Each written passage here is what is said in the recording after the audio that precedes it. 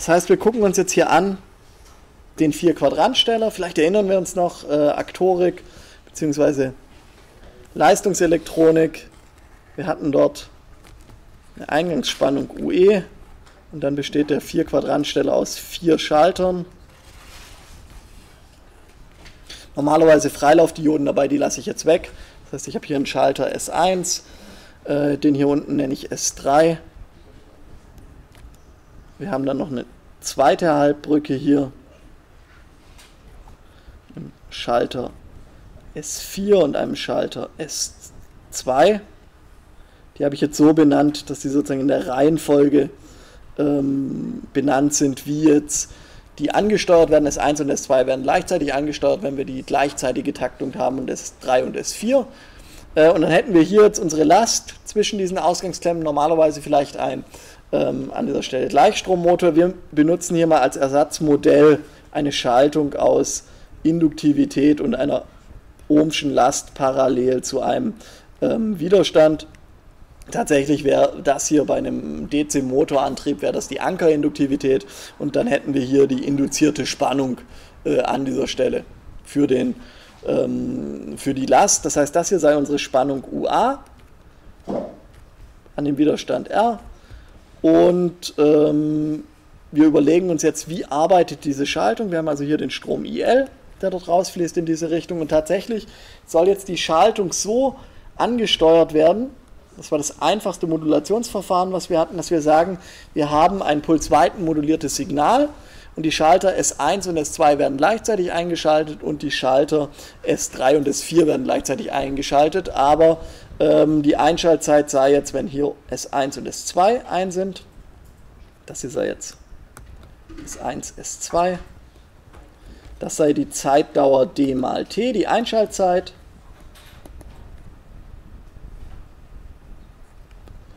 Und die Schalter S3 und S4 sind eingeschaltet, wenn wir an dieser Stelle das Zeitintervall haben zwischen d mal t und t. Wir schalten also abwechselnd diese diagonalen Spannungen ähm, zwischen den beiden Halbbrücken, einmal plus UE, einmal minus UE ähm, und haben dann hier die entsprechenden Verläufe.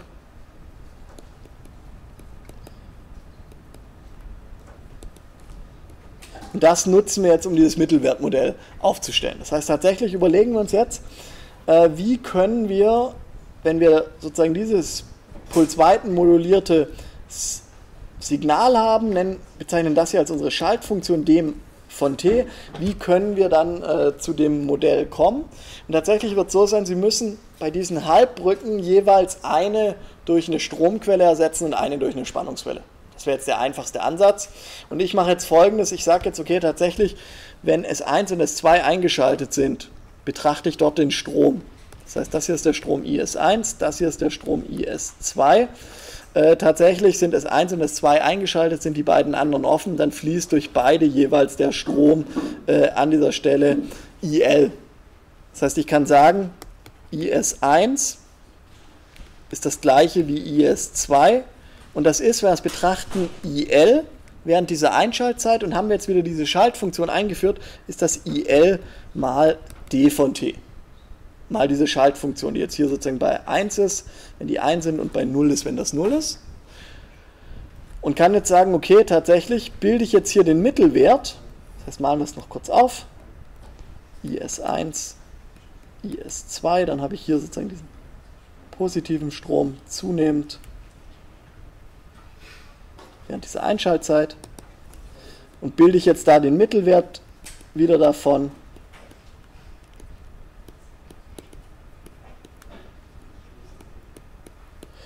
Dann kriegen wir hier raus, okay, das ist tatsächlich wieder IL-Mittel mal D-Mittel. Das heißt, IS1 und IS2 werden wieder ersetzt werden durch Stromquellen D-Mittel mal IL-Mittel. Und dann gucken wir uns noch an, die beiden anderen Schalter, dort schauen wir uns jetzt die Spannungen an. Das heißt tatsächlich über dem Schalter 3 gucke ich die Spannung US3 an, über dem Schalter 4 die Spannung US4. Ähm, und da betrachten wir jetzt auch dieses Einschaltintervall. Das heißt, tatsächlich, wenn äh, S1 und S2 eingeschaltet sind während dieser Zeitdauer d mal t, werden diese beiden geöffnet sein und dann liegt über beiden Schaltern jeweils die Spannung UE an. Das heißt hier über dem Schalter S4, weil der untere geschlossen ist, das auf Masse zieht, liegt hier von oben nach unten die Spannung UE an und hier bei dem Schalter S3, weil der obere hier diesen Mittelpunkt verbindet mit der Eingangsspannung, liegt dort dann auch die Spannung UE an.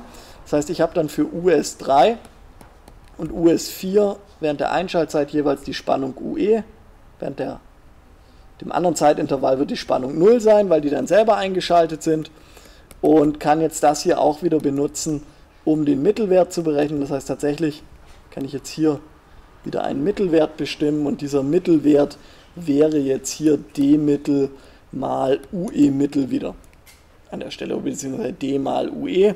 Das heißt, ich kann sagen, US3 ist gleich US ähm, 4 wieder UE von t mal d von t und im Mittelwertmodell entspricht das dann hier UE Mittel mal d Mittel.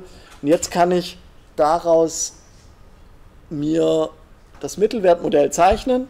Das heißt tatsächlich S1 und S2 werde ich durch Stromquellen ersetzen, S3 und S4 durch Spannungsquellen, der Rest bleibt gleich, aber alle meine Größen sind dann diese mittleren Größen. Das heißt, ich habe jetzt hier ähm, die Eingangsspannung, die mittlere, UE-Mittel. Ich habe hier dann eine Stromquelle statt dem Schalter S1. Ich habe statt dem Schalter S2 eine Spannungsquelle. Ich habe hier also D-Mittel mal UE-Mittel. Hier den Strom D-Mittel mal IL-Mittel. Am Mittelpunkt die Induktivität angeschlossen, durch die fließt der mittlere Strom IL-Mittel und habe dann Kondensator Lastwiderstand parallel, dort fällt die mittlere Ausgangsspannung UA-Mittel ab. Und auf der zweiten Seite dann hier den Schalter S4 ersetzt durch eine Spannungsquelle, D-Mittel mal UE-Mittel und den Schalter S2 durch eine Stromquelle. Hier D-Mittel mal IL-Mittel. Und tatsächlich ist das ja dann das ganze äh, Modell, das Mittelwertmodell für den Vier-Quadrantsteller. Das heißt, wir sehen auch hier, wir können auch ähm, für so ein, eine Schaltung mit mehr als äh, im Prinzip einem Schalter äh, an der Stelle so ein Mittelwertmodell machen, wenn wir einfach bloß uns überlegen, wie sind jetzt die mittlere, mittleren Werte hier abhängig von äh, unserer Steuergröße und die Steuergröße wäre hier wieder das mittlere Tastverhältnis D-Mittel. Und dann können Sie das auch so simulieren ähm, und wir können damit Bodediagramme erstellen, Kleinsignalsatzschaltbild und so weiter. Und dann können Sie eine Regel auslegen, um zum Beispiel äh, diesen vier Quadrantensteller zu regeln. Wobei in der Praxis äh, Sie häufig nicht diese komplizierte Modellierung brauchen für den Vier-Quadranten-Steller, weil wenn Sie den DC-Motor betreiben, wird die Dynamik im Wesentlichen bestimmt durch den Motor. Weil er hat eine mechanische Zeitkonstante, die viel, viel größer ist als die Zeitkonstanten, die sich hier ergeben aufgrund des, äh, ähm, dieses Modells letztlich. Äh, und das bedeutet, dass Sie dann ein System haben mit einer dominierenden Zeitkonstante, die durch andere Elemente bestimmt wird, als durch die, die Induktivitäten, die dort zum Beispiel vorhanden sind. Und dann ähm, braucht man in der Praxis auch keine zu komplizierten Modelle, sondern kann eventuell mit dem PT1-System auskommen und nicht so wie im PT2-System, wie wir das hier zum Beispiel hätten. Ich habe also hier dann die beiden Modelle mal aufgezeichnet.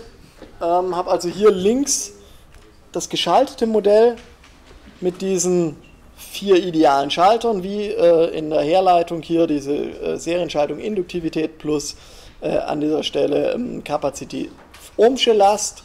Äh, meine Ausgangsspannung ist jetzt natürlich eine Differenzspannung, deswegen diese beiden Klemmen UA1 und UA2. Und hier dieses Mittelwertmodell, wie vorher auch, diese beiden Stromquellen. S1 und S2 ersetzt durch zwei Stromquellen, jeweils IL-Mittel multipliziert mit dem Steuersignal, dem mittleren. Ähm, und jetzt hier S3 und S4 äh, ersetzt durch Spannungsquellen. Und dann schauen wir uns auch hier an, wie sozusagen diese Signale im Vergleich oder diese, diese Kurven im Vergleich sind. Ich habe jetzt hier das genannt äh, UAM für, für Mittelwertmodell, den blauen Verlauf und dann sehen wir auch hier, eigentlich können wir aufhören, äh, sehen wir auch hier sozusagen beim Einschwingen bereits, wir kriegen hier eine relativ gute Übereinstimmung dieser beiden Modelle. Das eine, das, das rote, ist das geschaltete, ähm, das blaue ist das Mittelwertmodell. Und wir haben hier auch wieder dasselbe dynamische Verhalten, könnten also hier auch wieder das Bode-Diagramm ermitteln, wir könnten ähm, dann unseren Regler auslegen äh, und tatsächlich zum Beispiel auch der Strom durch die Induktivität, wenn wir uns das anschauen hier, das ist der Strom IL1 und dann dasselbe Diagramm Strom IL2, äh, sehen wir auch hier äh, die Verläufe ähm, haben wir sozusagen durch ein nicht-lineares Großsignalsatzstabbild wieder ersetzt für diese Mittelwerte. Die hochfrequente Welligkeit ist verschwunden. Und dann können Sie hiermit auch den Regler für so einen Vierquadrantensteller aufstellen letztlich. Gut.